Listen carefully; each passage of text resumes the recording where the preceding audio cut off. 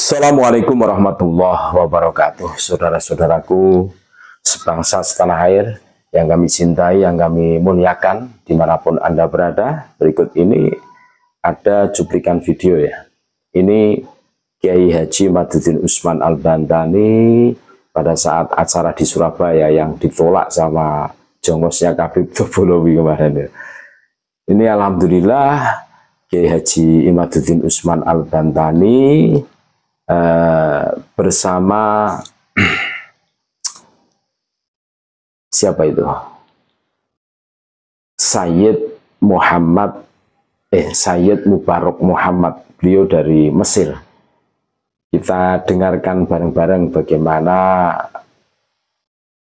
Kiai Imaduddin Usman Al-Bantani bertemu dengan eh, Sayyid Mubarak Muhammad ini ulama dari Mesir menarik ini.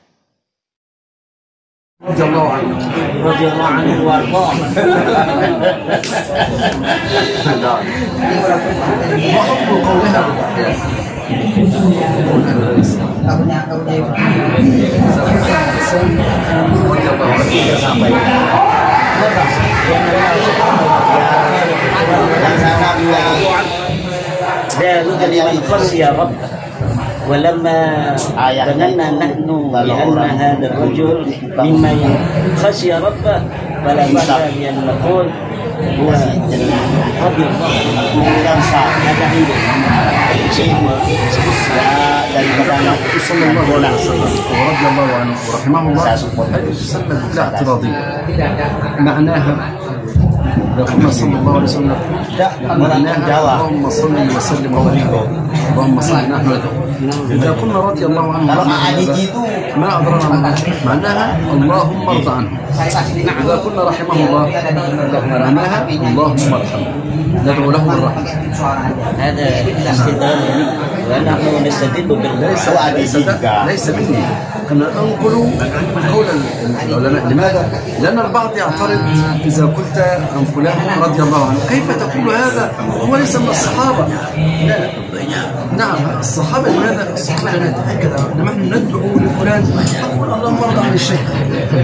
ما المشكلة في هذا؟ أنني أقول اللهم ارضى عنك آه. عندنا مشكلة في من تقول له رحمه الله عما يقول كيف تقول هذا وهو ما زال حيا؟ هذا نقول للميت فقط.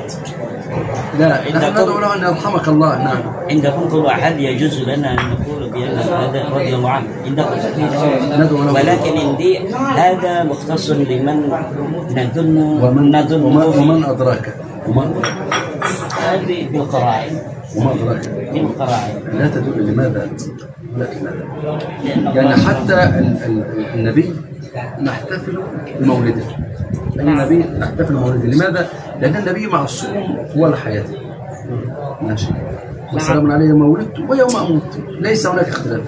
أما الولي لا تستطيع أن تحكم عليه إلا إذا مات على طاعة. نعم. لماذا؟ لأنه ربما يكون من يعمل بعمل أهل الجنة. حتى لا يكون بينه وبين مقدار صلاة فيسبق عليه الكتاب فيعمل بعمل أهل النار فيدخلها وإن من يعمل بعمل أهل luar biasa bukan? Bagaimana Kiai Haji Imaduddin Usman Al-Bantani ya, yang dijuluki Al-Kaburi oleh para Kabib Dobolowi, ini bisa mengimbangi percakapan dengan Sayyid Mubarak Muhammad, ulama dari Mesir ini, pakai bahasa Arab. Ini menunjukkan bahwa kengaliman Kiai Haji Maduddin Usman Al-Bantani ini luar biasa. Ya tidak ngalim bagaimana beliau itu kiai, pengasuh pondok, santrinya ribuan.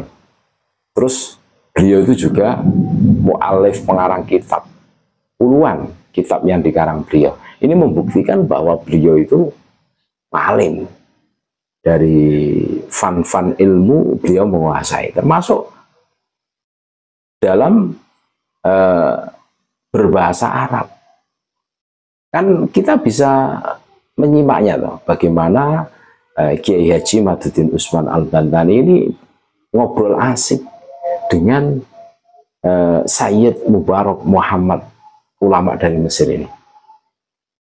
Ini loh. Makanya hari ini kita harus sadar bahwa ulama-ulama kita, kiai-kiai kita itu tidak kalah dengan ulama-ulama kali berdunia seperti Sayyid Mubarak Muhammad dari Mesir ini. Beliau bisa mengimbangi. Cuma ulama-ulama kita, kiai-kiai kita itu tidak sombong, tidak pamer, tidak seperti Kabib Dobolowi itu kan gitu tuh bisa sholawatan saja mereka pamer terus bisa ngaji dalil satu ayat atau dua hadis tuh terus sombong. Saya itu anak tidak mau ngobrol dengan orang-orang yang tidak punya ilmu. Wah seakan-akan ilmunya itu high level seakan-akan. Padahal peh mondoknya cuma dua tahunan kan gitu tuh. Dan ini bukti bahwa kiai-kiai ulama-ulama pribumi ini luar biasa. Contoh Kiai Haji Maduddin Usman al Bandani yang direndahkan, dilecehkan, dikatakan al-kaburi, bukan ahli nasab. Terus belajar nasabnya itu lewat Google lah, lewat internet lah. Kan banyak sekali eh, bulian-bulian, ya, cacian-cacian yang dilontarkan ya tentu dari siapa lagi kalau bukan golongan Kabib Dobolowi wa akhwatihi kan itu. Dan kroni-kroninya jongos-jongosnya mengatakan al-kaburi. Padahal yang al-kaburi itu mereka. Ini kalau kita bandingkan dengan Kabib Dobolowi ya jauh jauh. Benas sama was sumur sat saudara-saudaraku semua. Antara langit dan sumur sat sumur yang ada 75 meter sat kering kan gitu. Jauh jauh jauh jauh yang kalau kita bandingkan dengan itu yang katanya itu hafid, yang katanya alim, yang katanya ketua sufi sedunia, yang katanya wali, oh, bisa uh, apa mendeteksi makam dengan ilmu ronsen kuburannya. Membaca hadis saja itu salah. Man ro'a mingkum mungkaron. Nah, ini jelas, ini sabda baginda Nabi. Kalau man ro'a minkum mungkaron, ini jelas. Baginda Nabi bersabda, barang siapa di antara kamu, kalian, melihat suatu kemungkaran, jelas. Berubah menjadi apa? Man ro'aitul mungkaro. Nah, seumpama diartikan aku, baginda Nabi yang bersabda baginda Nabi. Aku melihat kemungkaran, ya blunder lah. Tidak jelas ini ini kelihatan tidak tahu gramatika Arab ini. Tahu-tahu kok ada ana mutakalim wahdahnya kan itu. Wah, ini memperlihatkan jauh lah, jauh, jauh. Makanya kita harus sadar. Terus yang menjadi pemikiran kita hari ini, pernahkah kita ini melihat Kabib ini ngaji, ngaji Al-Quran itu loh, saudara-saudaraku, pernah kita mendengarkan. Katanya Pekalongan itu hafid tuh katanya, hafal Quran. Tapi pernahkah kita mendengarkan beliau itu deres Quran atau membaca Quran? Jadi penasaran nih, selama ini belum pernah selama ini.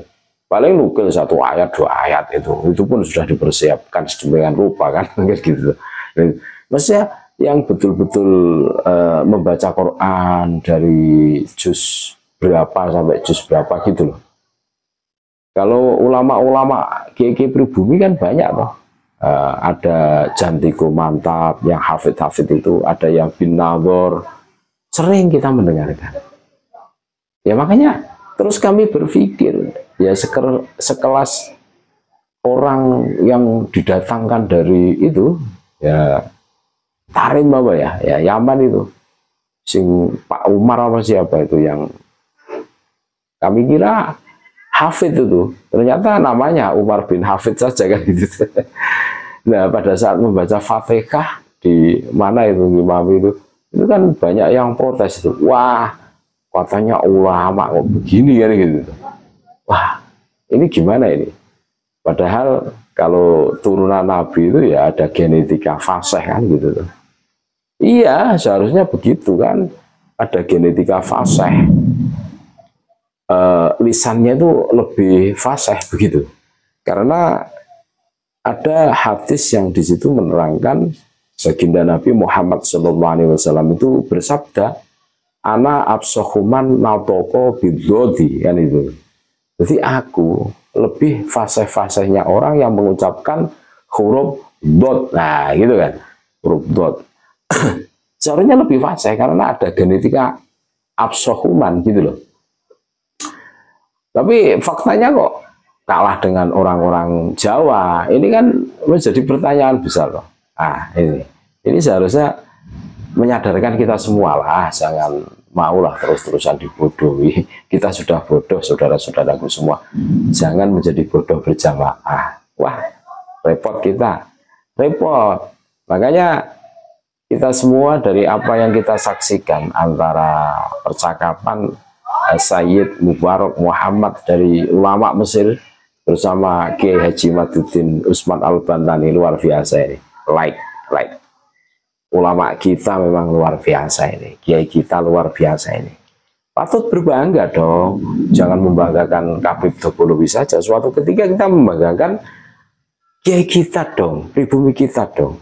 Dan beliau terbukti tidak kalah dengan narasi-narasi yang dibangun oleh Kabib Dobolowi itu jauh Benas sama iwas sumur sati saudara-saudaraku semua. Terima kasih. Tetap NKRI harga mati Nusantara milik kita. Assalamualaikum warahmatullahi wabarakatuh.